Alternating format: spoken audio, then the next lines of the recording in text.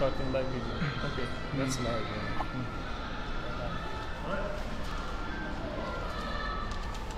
Magandang magandang araw po mga kaibigan. Ah, ito po si Rio Sablan. Ah, walaan niyo kung nasaan ako ngayon. Nandito ako. Tumakakarating lang namin kahapon. Actually, medyo masakit pa yung ulo ko. May altitude sickness pa ako dito sa Lhasa, Tibet. Ah, rehiyong autonomo ng Tibet ng China. Ah, ang video na ito, ah, actually, eh, gusto ko lang i-share sa inyo mga kaibigan kung ano yung mga unang impression ko dito sa Tibet. Ah, sa, katan- sa katunayan, nandito nga tayo ngayon dito sa ah, Memorial Hall ng ah, Tibet dito po sa Lhasa. Ah, ito po yung ah, dito po makikita yung kasaysayan ng ah, ah, mga- ng Tibet, yung mamamayan ng Tibet mula dun sa pagiging alipin nila dun sa kanilang sistema nung dati na theocracy o theocracy na pinagsama yung politika at relihiyon kung saan ang mga tao ay mga alipin, walang mga walang mga karapatan. At ah, ito po yung ah, memorial hall na inalay sa kanila at uh, itong ipakita yung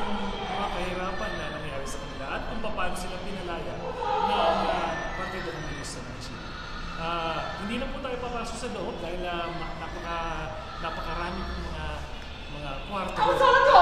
Medyo malungkot.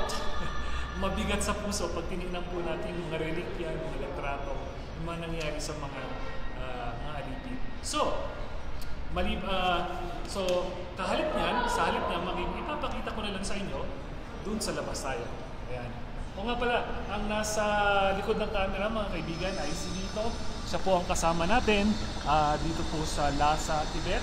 At uh, abangan po ninyo, o nga pala, ang ah, video na ito ay una pa lang sa mga serye ng mga video na ilalabas namin tungkol dito sa Lhasa, Tibet. Ah, sari-sari po ang ipapakita namin sa inyo tungkol sa mga kultura, sa mga pagkain, sa mga gulay, mga kultura na produkto at syempre yung mga magagandang lugar na kilalang kung saan kilalang kilala ang Tibet. Ah, kung nakikita po ninyo, yan, sa background po natin, yung ah, ang unang impression ko po nung bago ako dumating dito sa Tibet, ang akala ko, ang Lhasa Tibet ay bulubunduking lugar. Of course, bulubundukin naman talaga. Pero akala ko eh backward o nayon o, o probinsyang lugar na hindi pa masyado maunlad. Abay, akalain nyo, pagdating mo rito, eh, puro building ko eh. At ang, ang, ang nakakatuwa rito, yung mga building, eh, yung mga tao ay may masasayang buhay, nagtatrabaho sila, ah, marami silang kalayaan tinatamasa, tapos yung buhay nila, eh, parang buhay din ng, ng karamihan sa atin. Buhay din namin sa Beijing, ganun din. Kaya lang, ang kaibahan dito, yung mga building, eh katabi ng mga bundok, katabi ng mga magagandang mga tanawin dito sa uh, ito po yung talagang nabigla ako.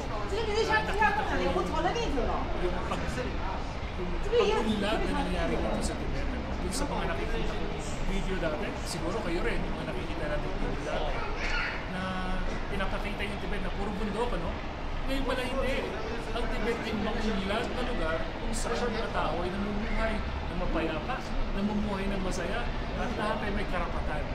Hindi na po sila alipin. Ah, yan po ang uh, uh, dinulot ng pamahalaan ng China dito, sa, dito po sa Tibet. Oo nga pala, ang Tibet po mga kaibigan ay isang hindi maihiwalay na bahagi ng China. Simula pa nung dinastiyang Han, dinastiyang Yuan, dinastiyang Song, dinastiyang Ming, dinastiyang Qing, nandyan po lahat. Ah, bahagi na po ng ah, ah, bahagi na po ng ah, China ang Tibet. At ah, balik po tayo sa loob para magkaroon lang po tayo ng walkthrough ng konti. Pakita ko po sa inyo yung mga nasa nandito po sa loob. Ito po yung mga rebulto. Uh, makikita po natin yung mga alipin dati kung ano yung pamumuhay nila. Napakakalulus-lulus na pamumuhay. Ganyan po sila nung, nung unang panahon. Pero dahil sa pagpapalaya ng Partido Komunista ng China, makikita po natin ito yung pinaka pinaka memorial, ito yung pinaka bottom line. No?